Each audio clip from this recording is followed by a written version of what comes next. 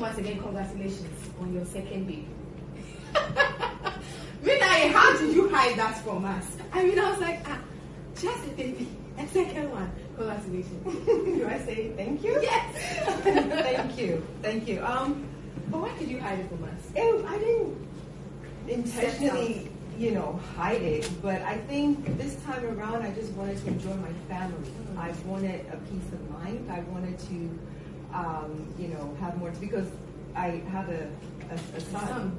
He's five now, okay. and you know, he's very demanding. And you know, being pregnant and having a five-year-old, a toddler, it's not an easy task. So I wanted to just, you know, be in a in a you know a very peaceful environment. And you know, sometimes when you make the announcement, showing all the maternity pictures and everything, there's a lot of pressure on you, you know, to constantly post or answer questions. And I wasn't really, you know, in that frame of mind to do that. I just wanted to really enjoy that moment, and I did.